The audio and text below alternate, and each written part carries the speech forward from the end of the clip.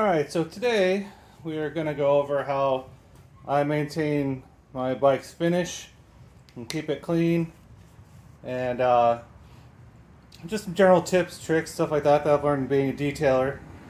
Uh, but I've got some simple products that I use. Um, really, the, the brand isn't all that much important, um, but their function is. And uh, we'll go over first we'll go with this little guy here is for cleaning the grips. And since I have white grips, stuff like that, what you want to do is just saturate a paper towel like so. I'll not walk through the shot. But this helps.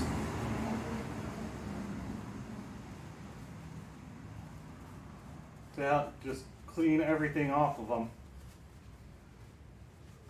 over to a clean side. And these are pretty clean. You can see they're pretty clean. But still, I wear these gloves that have a like a black palm to them. And what they do is they just deposit dirt and stuff like that, as you can see there on them.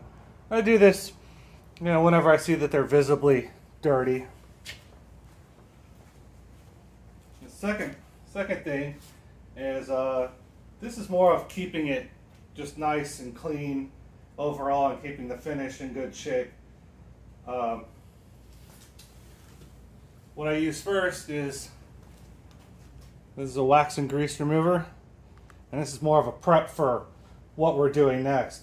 Uh, I start always start with a clean bike. I don't use uh, water or anything. I don't hose this thing down because I mean it's all steel and the paint and stuff like that is super thin. So what I will do is grab myself a handy dandy little microfiber and this is the wax and grease remover and this is to prep it for the ceramic coat. You want to take all wax and grease and everything off of it. You just wipe everything down the best you can.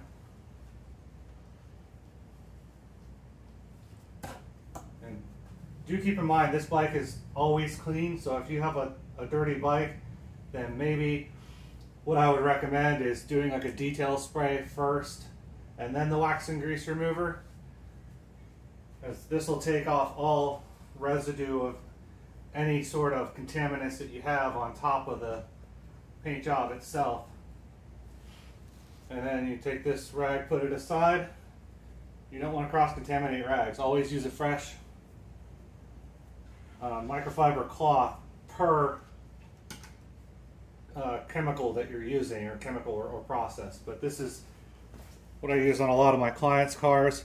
And say just want a, a quickie, cheap kind of ceramic spray or detail that lasts about, I don't know, six or so months. On this bike, I do it every three months just because you know, sometimes I do go through some puddles and it's just so nice to have everything just beat up and fall off. But again, don't spray anything directly on anything that you're working on. You spray it always on the microfiber first. Let's fold it up like so.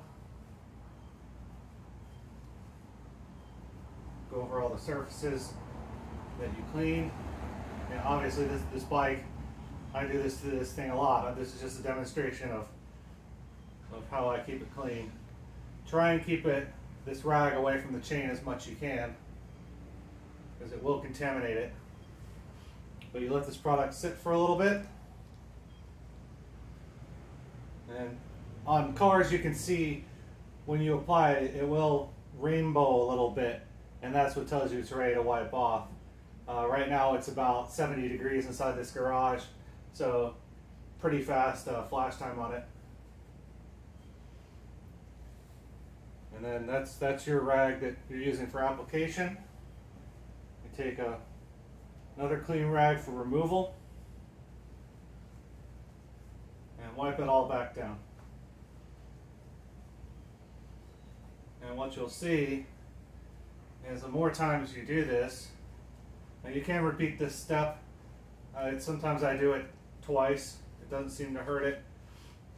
Um, or make any sort of difference as far as how uh, the product goes on and its longevity.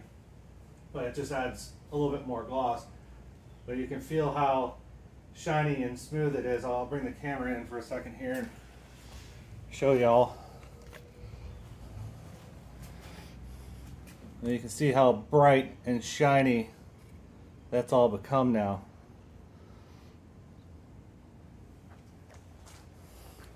And this stuff that I do use is extremely hydrophobic. And again, I'll bring it in. This I'm not sponsored by anything. This is not an absolute endorsement. Um, you use what you think is best, whatever fits in your budget. This is pretty cheap. I think this is 10 bucks, something like that. But um, yeah, it's pretty easy to to apply, pretty easy to do. They do make the same company does make uh, wet waxes and stuff like that. This is a wet wax. I do have a spray detailer, which is also good for in between uh, coats if you don't feel like stripping it every time. But if you're if you're going to ceramic coat your bike with this product, every every time you do use this, make sure that you use this, which is a wax and grease remover. If you don't have wax and grease remover, you can mix uh, alcohol and isopropyl alcohol, or uh, water and isopropyl alcohol together. And it makes it nice and easy, very budget friendly. But I thought this video might be helpful if you wanted to maintain the finish of your bike, keep it looking nice, keep all the mud and dirt and everything from sticking, and make it uh, very easy to maintain uh, the finish every single time. Anyway, hope that helps. See y'all in the next one.